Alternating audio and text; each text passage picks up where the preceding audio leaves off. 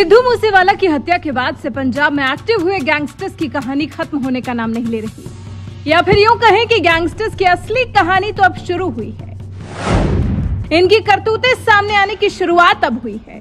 Punjabi industry in gangsters के खौफ से हिल गई है। लोकप्रिय गायक सिद्धू मूसेवाला की गोलियों से छलनी कर जिस तरह से हत्या की गई, उसके बाद से तो हर पंजाबी गायक खौफ में ही था। कि एक और खबर ने दस्तक दे दी। पंजाबी गायक अल्फाज। शनिवार शाम को अल्फाज को मोहाली के फोर्टिस अस्पताल में भर्ती कराया गया है। अल्फाज के करीबी हनी सिंह ने उनकी फ़ोटो को अपने इंस्टाग्राम अकाउंट के ज़रिए साझा किया है। फ़ोटो में साफ़ देखा जा सकता है कि अल्फाज बुरी तरह जख्मी हैं। उनको बहुत चोटें आई हैं। उनका एक हाथ तकिया पर रखा हुआ है। देखकर साफ़ है कि अल्फाज की हालत काफ़ी खराब है। हनी ने कैप्शन में लिखा, बीती रात मेरे भाई अल्फाज पर किसी ने हमला किया। जिसने भी ये प्लान किया था, मैं उसे छोड़ूँगा नहीं। आप प्लीज़ उसके लिए दुआ करें। हालाँकि बाद में हनी सिंह ने इंस्टाग्राम पर की गई अपनी इस पोस्ट को डिलीट कर दिया। फिर ये लिखा कि अपने दोस्त को अस्पताल देखने आया था। उसकी हालत अभी भी गंभीर है। वो आईसीयू में है। उसके लिए दुआ करें। रिपोर्ट्स की माने तो सिंगर अल्फाज मोहाली के पास स्थित पाल ढाबा से अपने दोस्तों के साथ डिनर करके निकल रहे थे। इसी बीच में ढाबे के मालिक और विक्की नाम के शख्स के बीच में पैसों को लेकर कुछ कहा सुनी हो गई। उसने अल्फाज से इस बात में बोलने के लिए कहा और फिर ढाबा मालिक का टेंपो लेकर भागने की कोशिश की। इसी बीच में अल्फाज को टक्कर मार दी, जिसमें वो बुरी तरह से घायल हो गए। आरोपी विक्की के खिलाफ सोहना पुलिस स्टेशन में केस दर्ज किया गया है और मिली जानकारी के मुताबिक उसे हिरासत में ले लिया गया है। आरोपी विक्की के खिलाफ आईपीसी की धारा दो सौ उन्यासी, तीन सौ सैंतीस, तीन सौ अड़तीस के तहत मामला दर्ज किया गया है।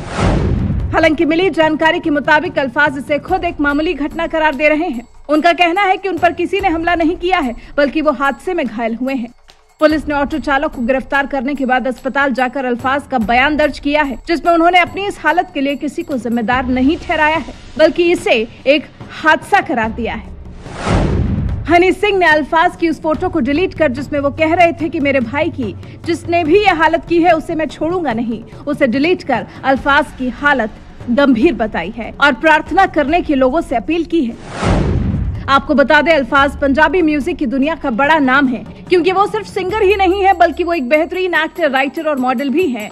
जट एयरवेज गाने में वो बतौर एक्टर पहली बार दिखाई दिए थे। और आज एक्टर की ऐसी हालत है कि यो यो हनी सिंह बार बार लोगों से अपने दोस्त के लिए दुआ करने के लिए विनती कर रहे हैं।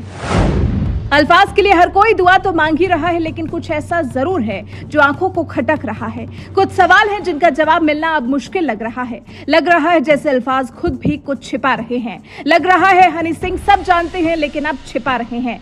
पहले जो उगल दिया उसे दुनिया से छिपाने की कोशिश कर रहे हैं। आखिर किसने की है अल्फाज की ऐसी हालत? आखिर किसे हनी सिंह नहीं छोड़ने की बात कह रहे थे? आखिर किसके बारे में बात कर रहे थे हनी सिंह? क्यों हनी सिंह ने अपनी पोस्ट को किया डिलीट? क्यों हनी सिंह ने अल्फाज की गंभीर हालत में अस्पताल में लेटे हुए तस्वीर को अपने इंस्टाग्राम से हटा दिया?